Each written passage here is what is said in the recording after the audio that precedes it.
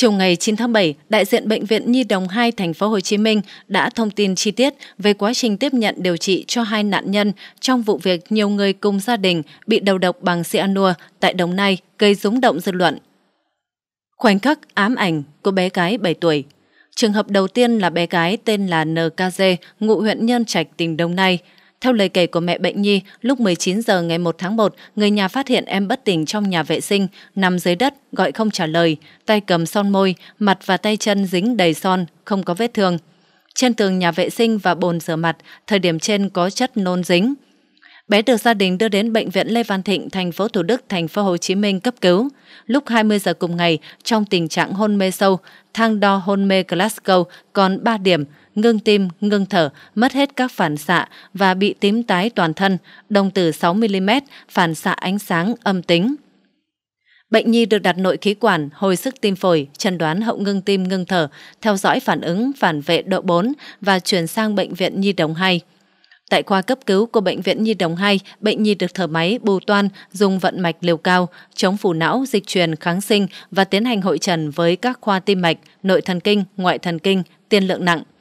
Kết quả xét nghiệm cho thấy là bé có tình trạng toan chuyển hóa nặng, lactate, một sản phẩm của quá trình chuyển hóa tế bào tăng cao, nghĩ do ngưng tim ngưng thở trước nhập viện.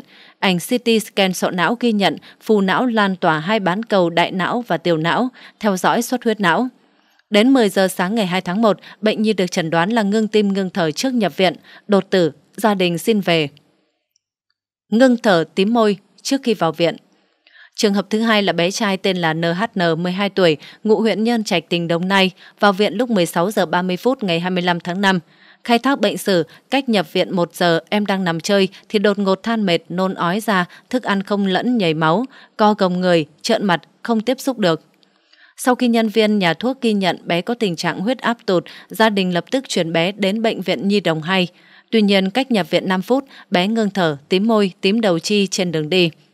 Tại khoa cấp cứu, bệnh nhi được đặt nội khí quản, thở máy, bù toan, chống phù não, dùng vận mạch liều cao, dịch truyền kháng sinh. Các khoa nội thần kinh, ngoại thần kinh, hồi sức nhiễm, tiến hành hội trần, tiên lượng là bệnh nhi tử vong.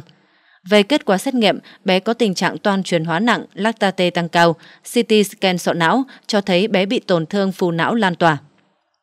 Đến 11 giờ 30 phút ngày 26 tháng 5, gia đình xin cho bệnh nhi về. Chẩn đoán thời điểm này là ngưng tim ngưng thở trước nhập viện, đột tử nghi do rối loạn nhịp. Phía gia đình khai với bác sĩ, trong nhà có tiền sử một số người bị tai biến tử vong, bệnh tim mạch, có gen đột quỵ nên không có cơ sở nghi ngờ ngộ độc. Do đó các bệnh nhân nêu trên đã được bệnh viện bàn giao cho gia đình lo hậu sự. Trước đó vào chiều ngày 8 tháng 7, nam thanh niên NHBT 18 tuổi, một trong những nạn nhân đã được bệnh viện Lê Văn Thịnh thành phố Thủ Đức thành phố Hồ Chí Minh cho xuất viện sau 2 tuần điều trị. Ông Trần Hoàng Sự, bí thư đảng ủy xã Vĩnh Thanh, huyện Nhân Trạch, tỉnh Đồng Nai cho biết, khi nạn nhân T được bệnh viện phát hiện trong người có chất độc cyanua, gia đình mới gửi đơn tố giác đến cơ quan chức năng. Những trường hợp khác dù chết bất thường, nhưng gia đình ông Nguyễn Văn Hải, một trong những người tử vong, không trình báo chính quyền địa phương. Trong 8 tháng, có 5 người cùng gia đình trên tử vong với các triệu chứng liên quan đến ngưng tim, rối loạn nhịp tim. Trước khi chết, đều bị nôn ói, nhức đầu, chóng mặt. Liên quan đến vụ việc nhiều người trong gia đình bị đầu độc bằng cyanua gây rúng động dư luận xảy ra tại huyện Nhân Trạch, tỉnh Đồng Nai, đến sáng ngày 9 tháng 7, nam thanh niên tên NHBT 18 tuổi, một trong những nạn nhân đã được bệnh viện Lê Văn Thịnh, thành phố Thủ Đức, thành phố Hồ Chí Minh cho xuất viện. Ông Trần Hoàng Sự, bí thư đảng ủy xã Vĩnh Thanh, huyện Nhân Trạch, tỉnh Đồng Nai cho biết, khi nạn nhân T được bệnh viện phát hiện trong người có chứa chất độc cyanua, gia đình mới gửi đơn tố giác đến cơ quan chức năng.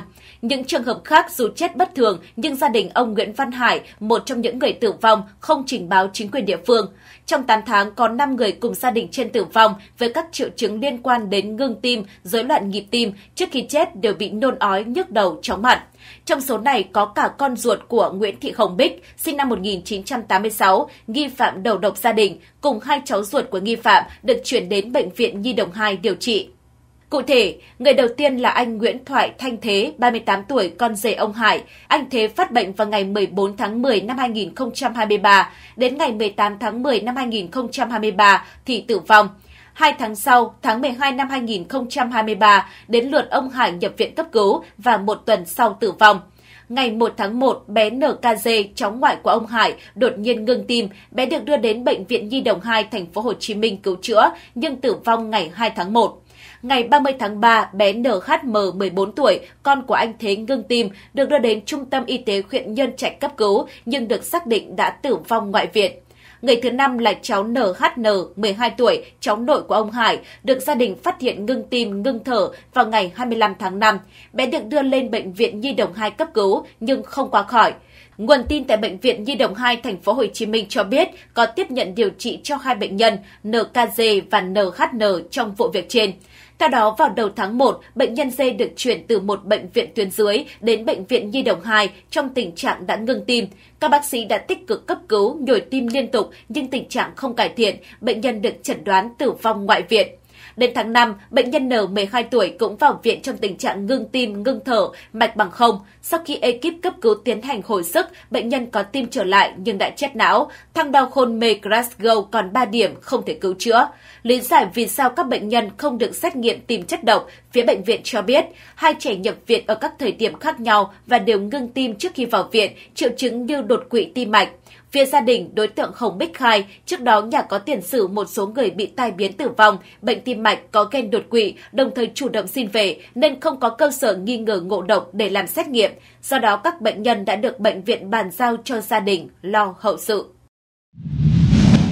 Ngày 9 tháng 7, Cơ quan Cảnh sát điều tra Công an tỉnh Đồng Nai vẫn đang tiếp tục mở rộng điều tra vụ việc gia đình có 5 người tử vong, một người may mắn thoát chết ở xã Vĩnh Thanh, huyện Nhân Trạch. Đến nay, Cơ quan Cảnh sát điều tra Công an tỉnh Đồng Nai đã khởi tố bị can, bắt tạm giam Nguyễn Thị Hồng Bích, 38 tuổi, ngụ huyện Nhân Trạch, để điều tra về tội giết người. Bước đầu Bích khai nhận đã dùng cyanua đầu độc khiến ba người thân, chồng và hai cháu tử vong. Riêng người cháu ruột NHBT, 18 tuổi, được bệnh viện Lê Văn Thịnh, thành phố Hồ Chí Minh cứu chữa đã xuất viện. Riêng hai trường hợp tử vong còn lại là cha ruột và con trai Bích. Cơ quan điều tra đang làm rõ có hay không sự liên quan giữa hành vi của nghi phạm với cái chết của những người này. Theo lãnh đạo xã Vĩnh Thanh, khi BT được bệnh viện phát hiện trong người có chất độc cyanua, gia đình mới gửi đơn tố giác đến cơ quan chức năng. Với những trường hợp tử vong trước đó, gia đình ông NVH, cha ruột Bích, một trong những nạn nhân, không trình báo chính quyền địa phương. Điều đáng nói, cả 5 người tử vong nêu trên đều có các triệu chứng liên quan dấu hiệu ngưng tim, rối loạn nhịp tim. Cụ thể, anh NTTT, 38 tuổi, con rể ông H, chồng Bích, phát bệnh vào ngày 14 tháng 10 năm 2023. Đến ngày 18 tháng 10 năm 2023 thì tử vong. Đến tháng 12 năm 2023, ông H nhập viện cấp cứu và một tuần sau thì tử vong. Đầu tháng 1 năm 2024, bé NKD, cháu ngoại ông H, bất ngờ ngưng tim. Bé được đưa đến bệnh viện Nhi đồng 2, thành phố Hồ Chí Minh cứu chữa nhưng không qua khỏi, tử vong vào ngày mùng 2 tháng 1. Cuối tháng 3 năm 2024, bé NHM 14 tuổi, con anh NTTT, ngưng tim, được đưa đến trung tâm y tế huyện Nhơn Trạch cấp cứu nhưng đã tử vong ngoại viện. Người thứ năm là bé NHN, 12 tuổi, cháu nội ông H, ngưng tim, ngưng thở vào ngày 25 tháng 5. Bé được đưa lên bệnh viện Nhi đồng 2 cấp cứu nhưng cũng không qua khỏi. Tại cơ quan công an, bước đầu Bích chỉ thừa nhận dùng chất độc cyanua, đầu độc chồng và ba người cháu, khiến ba người tử vong. BT may mắn thoát nạn.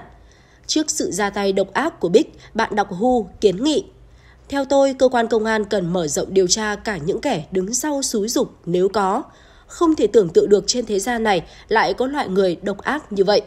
Nhiều dư luận bức xúc, thật ghê sợ và phẫn nộ với kẻ sát nhân này, đầu độc người thân ruột thịt không chút ghê tai, nhất là với các bé có tội tình gì mà cũng dã tầm sát hại, giết hại chừng ấy người mà còn mong pháp luật khoan hồng ư. Sao có con người ác độc như thế, cần loại bỏ vĩnh viễn để không gây nguy hiểm cho xã hội. Lâu nay, hóa chất kịch độc được bán tràn lan ở một số chợ. Tại sao lại như vậy? đã đến lúc cần kiểm tra gắt gao giấy phép mua bán loại hàng này. Ngoài ra, bất kỳ ai khi mua bán các chất hoặc tiền chất độc, cực độc gây trực tiếp hay gián tiếp đến sức khỏe con người đều phải bị xử lý hình sự. Trong khi đó, một bạn đọc nhìn nhận bệnh viện Lê Văn Thịnh là nơi phát hiện ra cyanua và vụ án bị phanh phui. Nhưng tại sao những ca trước không bệnh viện nào phát hiện ra? Qua đây thấy rõ quy trình xin cấp giấy chứng tử còn nhiều kẽ hở. Nếu như không ai trình báo gì thì gia đình cứ tự nhiên đưa đi an táng hoặc hỏa táng. Hầu như cơ quan chức năng không có quy trình kiểm tra cơ bản tử thi trước khi khâm liệm, cũng như đặt nghi vấn tại sao có nhiều người trong cùng một gia đình tử vong trong thời gian ngắn với những chứng bệnh không rõ ràng.